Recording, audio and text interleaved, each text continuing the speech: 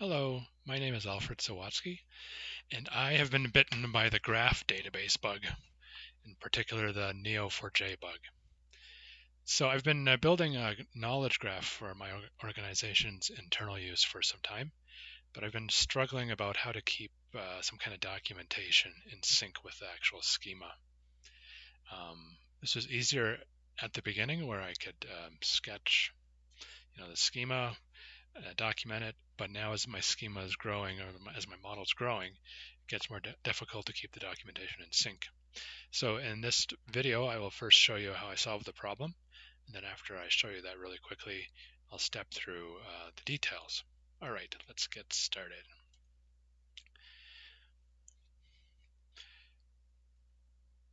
So uh, this is the uh, Neo4j browser that I use, and it's it's really helpful for all sorts of queries.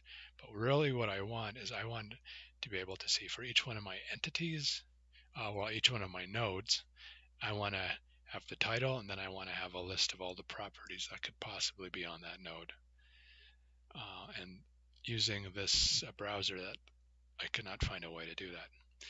But there are other visualization tools out there uh, one that I've uh, found and I like a lot is this um, Yfiles Neo4j Explorer.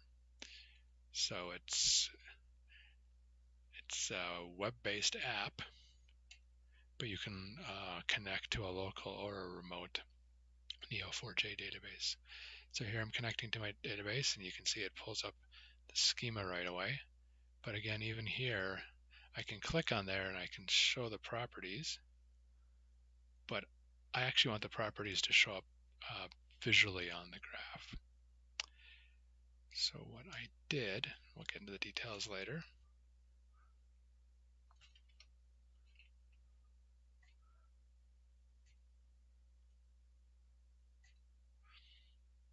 you can see here, here now these are square, but I've done, if I cl click on these, I've got properties, um, but I want to show those and I can do those by going here and, and making some new templates. But I have already uh, saved the templates, so I'll just show one here.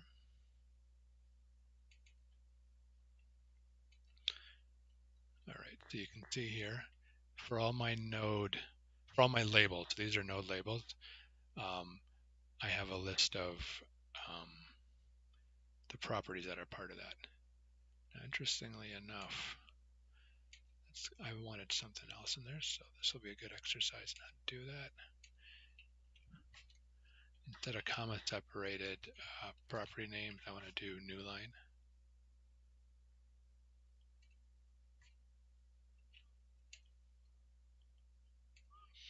All right, so here we have an image, or sorry, here we have the graph, shows the labels, and it shows all the uh, properties that are part of it. And now I can go and export this um, as a PNG, a PDF, and I can uh, put this in my documentation folder somewhere, and other non-technical people can see this uh, for reference. Now I'll go into the details a bit about uh, how I generated this. So if you're using Neo4j browser,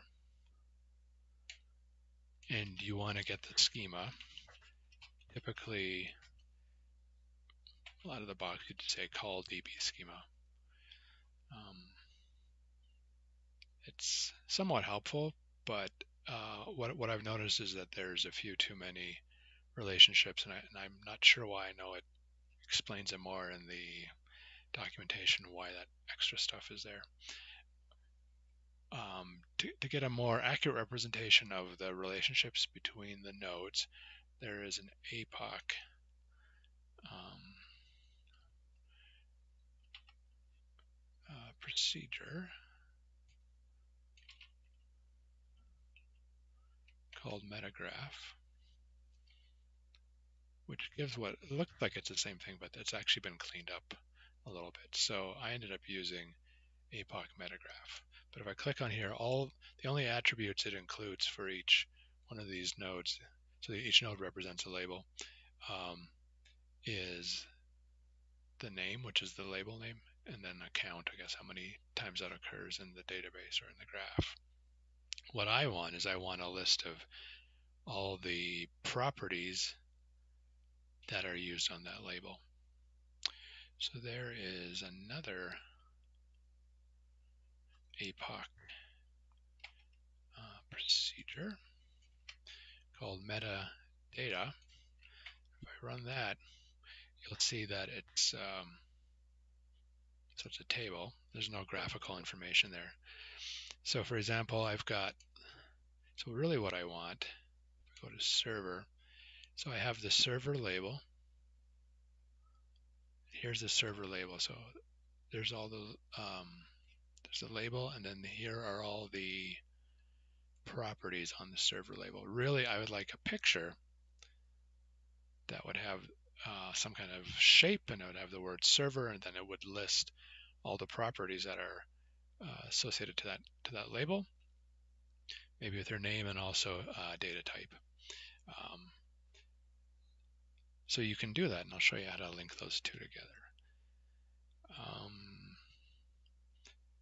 this metadata also has relationship type and because I'm only interested in showing uh, the properties that are on nodes, I I filter it based on uh, relationship type.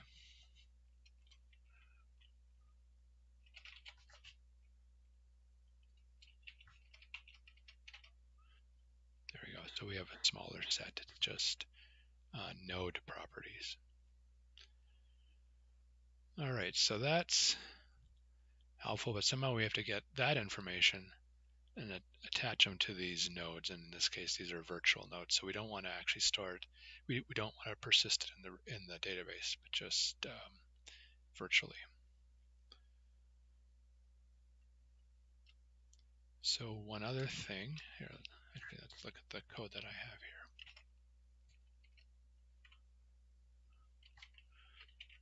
All right, so you can see up here is where I pulled out the metadata, so all the property information. And here is where I uh, put together some, I did some string concatenating. Actually, let's just get rid of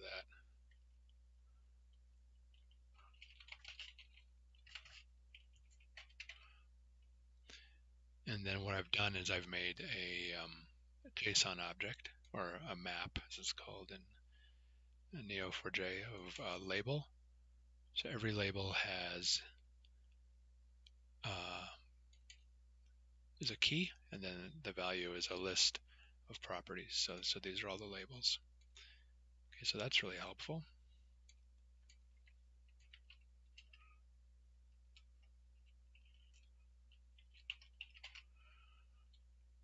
All right, so now we have all that, and now what we want to do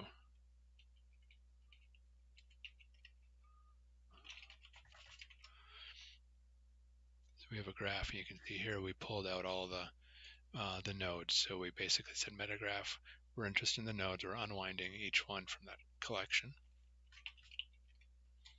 And each one in that connection. We're creating a label and a property map and relationships. So we are definitely getting closer.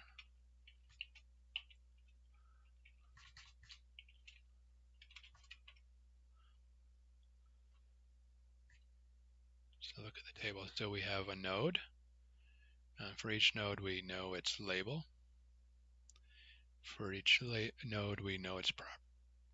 Well, we haven't done a proper grouping. So we have a properties map of all the nodes, and then we have a relationship. So that's it's neither here nor there.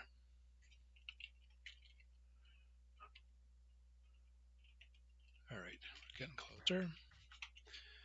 All right, so now we need to get um, information about each property, we need to stick it into a new property on the node N. And um, there was this APOC uh, procedure that uh, Michael Hunger told me about yesterday. Called set property. So if you give it a node, you can add a new key for a property. So this could be anything. It could be props, or but I called it properties. And then you stick something into there.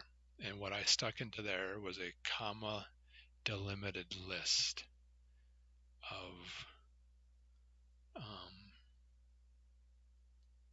comma delimited list as a string.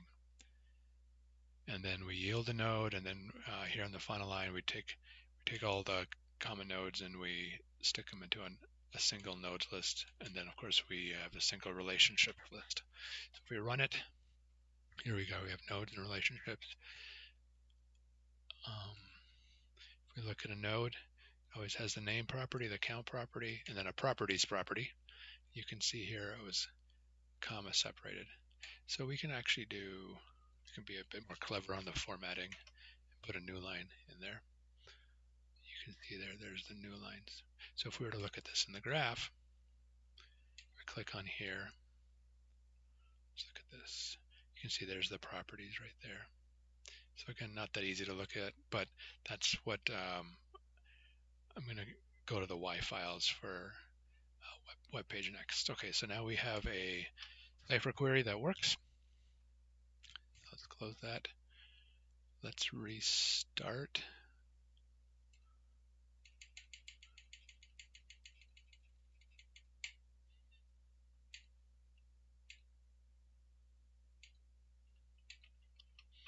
Let's run it. You can see here it pulls in uh, nodes. So these are virtual nodes and virtual relationships. You can tell they're virtual because they have negative ID numbers. But you can see here it's pulling in that extra information about properties. So we say import all. Um, so I'll look at that. Um, there's a bunch of non-connected nodes, um, I mean labels there, and I don't, I know I don't need those for this particular schema, so I'm just gonna delete those. But if we were to zoom in, uh, you could see here that all I'm seeing is the the label. So that's um, not that good but you can click up here to go to templates. You say make a new template. And let's say uh, we're going to do JIRA project. We're going to assign that label to there. So let's go to the template. And then you can do some uh, data binding. So let's do one up here. And then this one was Here we want to have um, the label name, and I believe that was called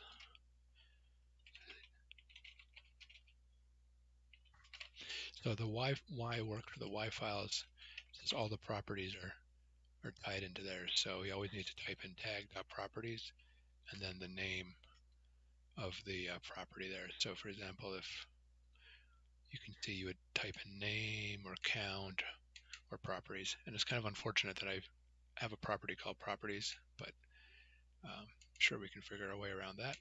So you can see that says Jira project. Drag another one into here. And we can do the same kind of data binding. We'll say tag.properties, and then the name of my property is called properties.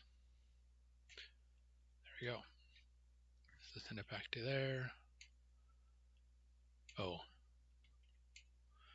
give it a background color. So you can say node, a nice yellow. All right, so there we have that template. So now you want to be able to add other templates. Now, what you should be able to do is add other um, labels to this.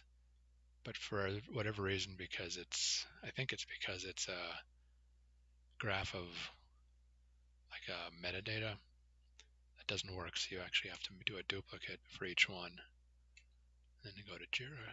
see where's the other one, Jira group. So you can see here, um, it got uh, rendered with that with that file. So of course you can do lots of different things. You can then you can save it. Uh, I'm not going to save it, but you, uh, I will open up my my previous template you can see here, um, I've got all those. They're rendering nicely.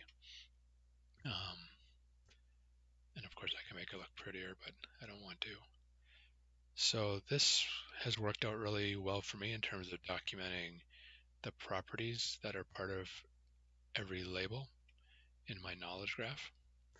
And now I don't have to maintain the other spaghetti diagram that I had to in the past.